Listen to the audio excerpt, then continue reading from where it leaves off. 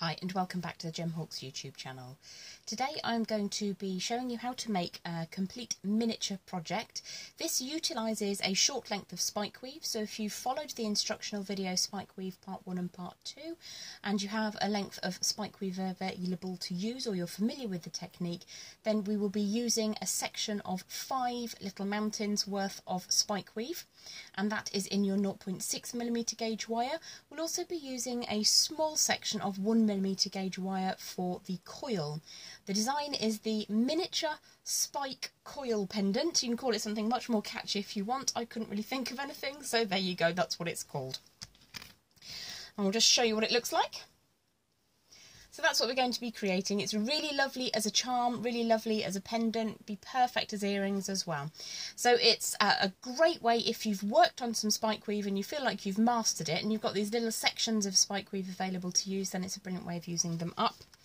So if you pop down to the board, what I'm going to do is show you very, very briefly how to create the first section of the spike weave. This is what we are looking for. So we're looking for two wraps around the base wire and then five sections of mountains with four wraps in between, two wraps at the end. I will just run through the process with you very, very quickly. Uh, but if you feel that you need a refresher or you're completely new to spike weave, then do please watch the spike weave video first up.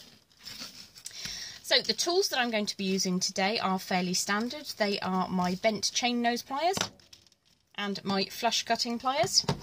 And I've also got some short lengths of wire. These are 1.25 millimeter gauge raw copper wire. I refer to them as rods or base wires. Um, they've been used for about three, three and a half years now to create this weave. And the more you use the raw copper, the harder it becomes, and they are a, a little bit more like rods. The reason I use wire rather than a steel rod is because you have the flexibility to move the ends open and closed a little bit if that makes your life easier. So to begin with, I'm going to pick one of these rods and I'm going to designate it my base wire. And I'm just going to wrap twice around the end. Now I'm trying to be thrifty with my wire at the moment, so I'm just going to take that end and draw it all the way around so that we've got two lovely neat wraps to begin with. Just making sure that that's completely smooth before we continue any further.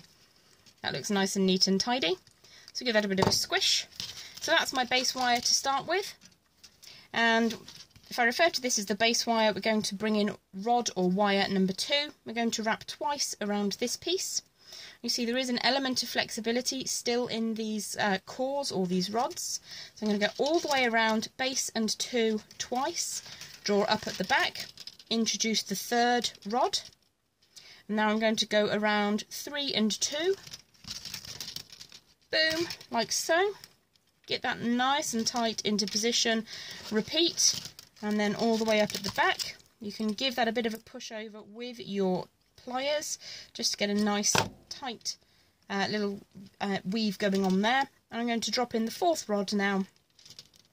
Like I say, because you're working with wire rather than actual steel rods, you do have the flexibility to move that around a bit. So we're going to wrap around now rod number three and rod number four. We're going to do that twice before returning back down the other side of the mountain. I'll show you like so. So we've wrapped around three and four. Give that a squeeze over. And I'm going to draw the wire around rod number three and then up through between three and four, down over the top. Again, you can push that over to get that nice tight weave. Give it a squeeze. And then we're going to come back down exactly as we went up by wrapping around two and three like so. Two times. Push that into position. Draw the wire up between two and three. And then we're going to wrap around base and two. Open that up like so. Add a bit of a squeeze. Repeat. Oops I almost went for a third time then Give that a bit of a push, and then we're going to come up between the base wire and number two to wrap four times around just the base wire. So that's three and four. Now, whenever I get to the end of a mountain, I just like to get that all nice and pushed up and over. Give that a squeeze, give that a squeeze, and then crush down to set the shape of the spike. What I would do is repeat that so I have got five mountains. There'll be four wraps of just the base wire between each of them.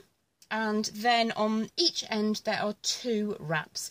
Please do refer to the other instructional videos and you'll see how to create the weave, how to keep the weave neat and also how to remove it safely from the rods without making it go all squonky. So this is what you will end up with following the uh, detailed information on the spike weave tutorial.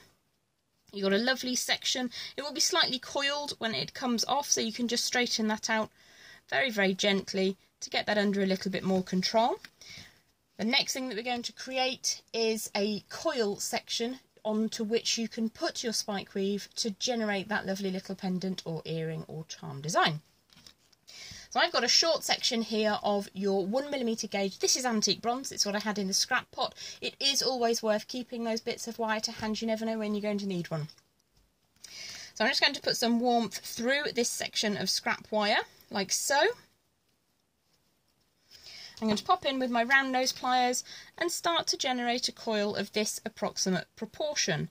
So I'm going to come as close as I can to the end of those pliers those round nose pliers and start generating quite a tight centre to my coil before allowing that to start opening out and the antique bronze really shines quite nicely in this light so you can see that there is a completed circle in the centre but then it starts to helter-skelter away and there is an element of space. So with this design what I decided I would do is to create a nice open coil and if I go too far and I make too large a coil, you can always undo a bit. If you don't make enough and you put the spike weave on, it's a little bit harder to then create more coil. So I think what I've got here is probably a little bit more than I actually need, which is absolutely fine. I do have a tutorial based on how to create the perfect coil. Do feel free to return back to that if you feel that this doesn't give you enough information. So I've got my coil now in antique bronze or I could choose the uh, rose gold colour, it doesn't really matter. But I'm going to show you with this one because I've just created it, making sure that you've got your section of spike weave the correct way up. So you can see here that we've got 4, 2, 2, 2, 2, 2, 4. If you flip it over, you'll see that you've got threes on one side and ones and twos on the other side. And it, it's pretty, but it's not what we're looking for. So I'm going to then thread the end of my coil through where the base wire was. And you can see, because we work with a rod that's 1.25 mil and we're now working here uh, with a 1mm gauge, it's really easy to just push that on. It's very, very pleasing when that comes into position. So I'm just going to pull that around until it sits where I think those two end sections are going to meet and look aesthetically pleasing. Possibly a little bit further around bent chain nose pliers or any fine tip pliers and then I'm going to cause that to come up at an angle like so and then get that to straighten out by just feeding it through any flat facing pliers so that you have that little straight segment. And just push that a little bit further round than it's going to finish up and then we're going to draw that section at the top down so that it sits just behind the top there. Can be a little bit fiddly if you are warm so I'm just going to grip hold of that and push it so that it sits down so that those two end sections sit reasonably closely together. If you want to take the time, you can, of course, get those uh, wound up with a section of perhaps 0.4mm gauge wire in the same colour or a contrasting colour and just tie that together. You could also hammer the coil once you have decided that the size is correct. So what all that leads us to do really is to put a little wrapped loop on the top. So I'm going to grip just above where the pendant is, uh, where the neck is created. I'm going to come forwards at 90 degrees like so.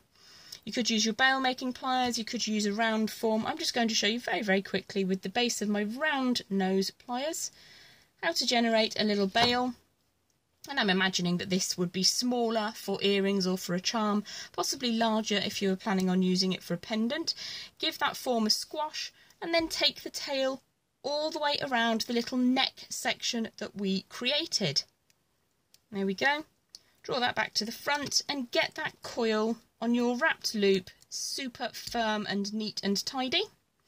Now you can just wrap around if you want to, but what I think we might do today, because we've got contrasting colour wire, take the scrap out of the way, come back in with the round nose pliers, and I'm just going to put another little coil on the front there to join it all together quite nicely. Now what I want to do is to have the coil coming down over the face of the pendant, but it's going to be quite tricky for me to do that with the pendant in the way. So I'm going to show you a little trick now, which is to create your coil coming in a different angle. So I'm just going to bring it away and forwards from the pendant. Let's get that started. So we've got a coil going on there. That was my wrist, sorry about that. Switch to the flat facing pliers and you can see that at the moment that's coming away from the front of the pendant. So we're just going to continue to create that coil until it sits approximately over the front where I want it to sit. And then I'm going to use my flat facing pliers and just draw that down over the front so that you get a, like a double spiral effect. Your alternative is there. Obviously you can wire that together, you can hammer your coil, you can use the same coloured wire, you can mess around with the position of the coil if you want to just to get that a little bit tidier. Or you could just trim off as I did in the original piece. So that's a really lovely mini make. It's a great way of using up segments of uh, spike weave if you've made them, you don't know what to do with them. It's a great way of using up little ends of reels. It doesn't actually take very much wire to create a five peak segment of spike weave. Certainly doesn't take very much wire to create that little coil that we looked at. I hope you found it helpful and useful. If you've enjoyed the video, please do press like and subscribe. I look forward to coming back to you again very, very soon. Have a beautiful day. Bye for now.